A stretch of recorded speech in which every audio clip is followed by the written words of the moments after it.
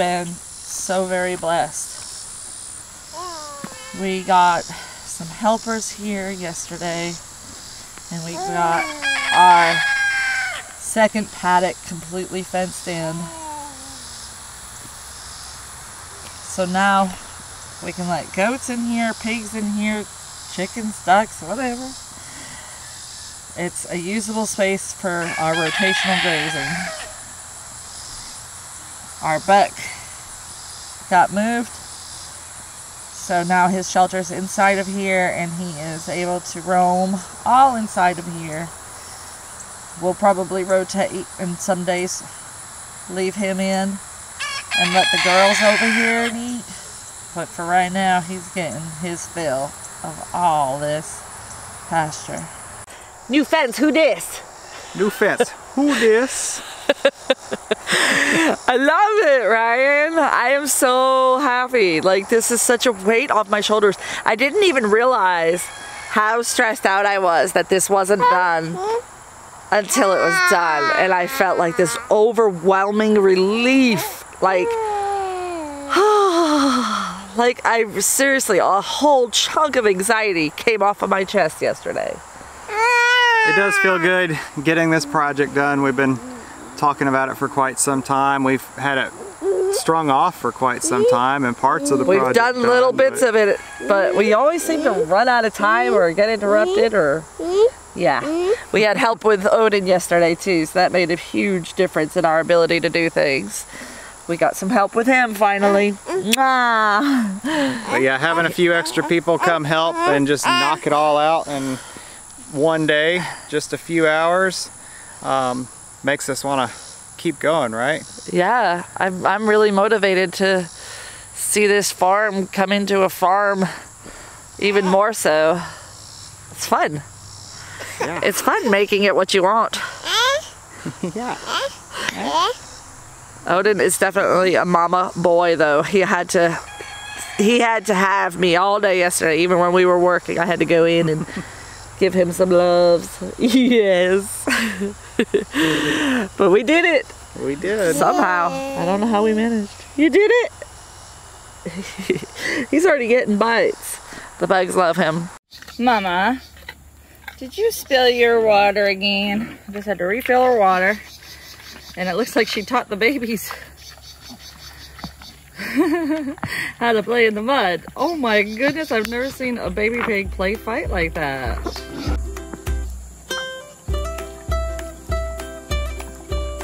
Wow.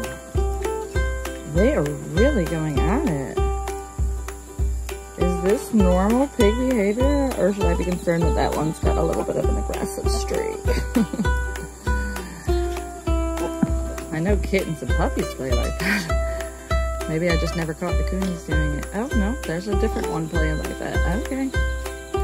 I never saw my coonies play like that. So I'm seeing there are some wattles on several of them. They're cute.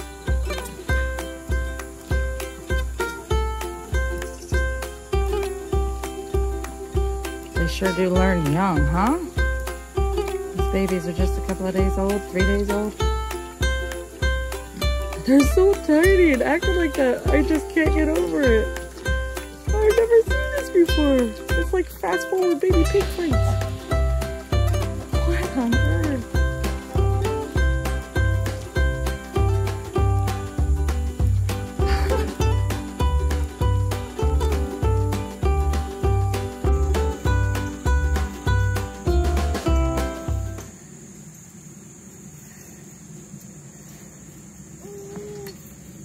What you got?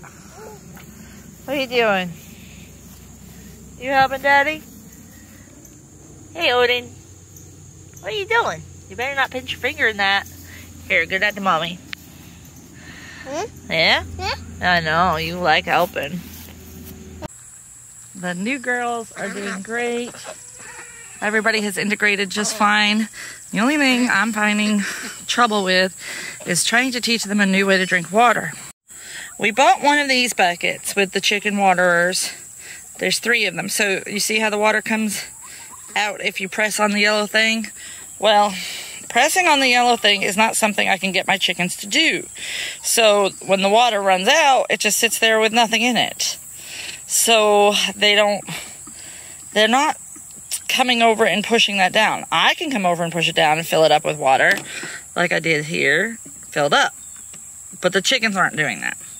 So our uh, our next alternative was to do so next try was this Plasson Bell water, which is attached to the five gallon bucket so that we don't have to keep on filling our one gallon waters. And it seems to be working where the chickens are drinking from it, but it's slightly tipped. And because it's slightly tipped, I think it might be running out of water faster than it should because it's running out of the edge. So we'll see. I just put more in this bucket because it was empty this morning. So I just filled it up halfway. So I'll know if this is empty when I come back out later to check. It wasn't because they drank it. So mainly what we use are the one gallon waters down there on the ground. And they have always been the best that we have found for our birds. Whenever I've bought the bigger waters than the one gallon, they have always had leaking issues, no matter what brand I've tried. So these are the only ones that have ever not leaked on me, unless they get a crack. And then we replace them. So definitely trying new things, but sticking to the old standards to make sure they have water at all times. So I just have to keep coming out and checking. Now that we have the new fence up, I'm really excited about getting this area cleaned up.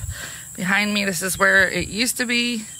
And we've got our pallets being stored right here. We're gonna move those to a different location so they're not right in view, you know, make it a little bit hidden behind the scenes.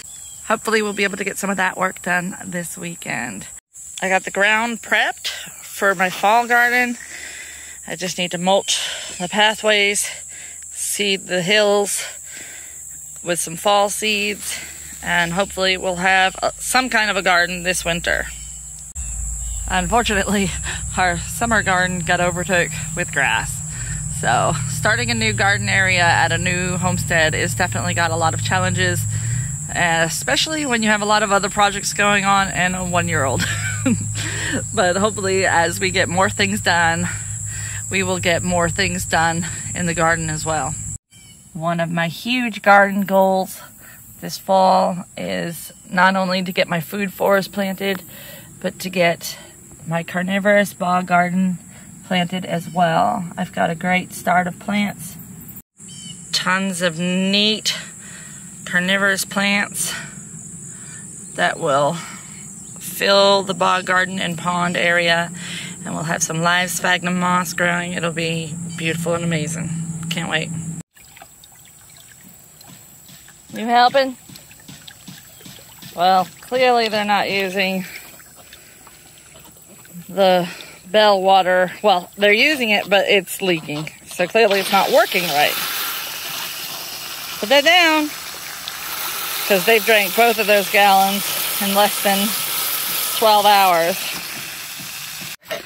All right, so so they are clearly using it. It's working, but it's running out the sides, I think. They're blocking it right now. I'm trying to get a good view. That's not working. That's a butt. So as with any temporary structure, the tarp was holding water in between the pallet slats when it rained. So I just had to pull it off and that flooded them, unfortunately it looks like they're roosting on top of the nesting boxes. So we gotta probably try a different, I don't like using PVC as a roosting bar. I'm gonna get something different for them. We got a really good fence here. Taking the time to fine tune all the stuff we didn't get to do last weekend. So putting extra staples in and making sure everything's extra sturdy, cutting off any extra slack that we left and making everything nice and tight. Tight, y'all. So we're over here just playing around with water. Right? You're just playing with it, aren't you? While Ryan touches up the spots that needed a little more touch up, staples and such. We got the hard work done with the help of some dear friends. So he was able to go around. Ryan actually messed up his shoulder pretty bad the weekend before last. And uh, he's been pretty incapacitated. So he's using his left hand to hammer in the staples because his right hand is not working because of his shoulder. Tough guy, huh? Lucky, lucky lady I am. Yeah, your daddy's awesome. He's setting you a good example, huh? All right, let's say we fix this roof and get these chickens their shade back, huh? Would you do that with me? I came up with the idea that it needs to slope so that it drains off somewhere and not go in between the slats. And unfortunately, the roof is already sloping in towards their shelter. So, right this moment, that's the only way I'm going to be able to do it. But what I want to do is put a pole in the middle and push the roof up right there so that it slopes back. But until I can do that, I'm going to use this board right here. It's the bottom of a dog kennel, and I'm going to put that on top so that the water at least doesn't puddle. And that way it's not um, all going to be dumped out at once, it'll be gradual. I turned my back on you for one second. One second. And you found water. Buddy. You sure love water, don't you? Yeah. I guess maybe we should go fill up the pool. That's what you need. You need some playtime in the water. Yeah, you love water. And it's hot out here. Too hot for working. All right, I got the tarp back up so they have shade until I can get a pole in the middle. I'll probably do that this weekend. It just, it's really hard to do anything when I am constantly watching this beautiful red-headed Viking boy.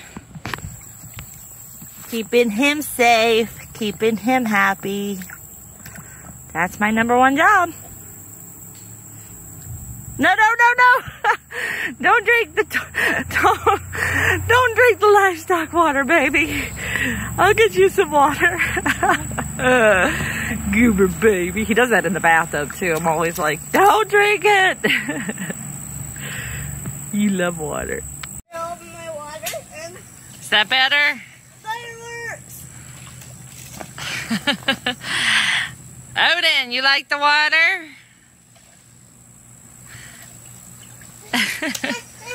Help him up, Rowan. He can't stand. There we go. Yeah, you like that water? Couldn't even wait for me to fill it all the way up. They had to jump in. oh, be careful. We don't want to hit anybody in the face or the ears.